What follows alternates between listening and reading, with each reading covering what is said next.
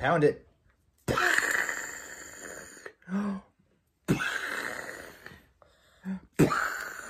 Teaching fist bumps is basic dad stuff. Mac and cheese times two. Basic dad stuff. Always having a uh, your handy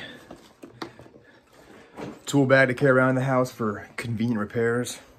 It's basic dad stuff. Ready? All right, go. You got it. Helping them master the mighty monkey bars. It's basic dad stuff. Oh, yes. Coming home to a box of meat on your front porch is basic dad stuff. Walking around early on Easter morning, hiding Easter eggs in the yard.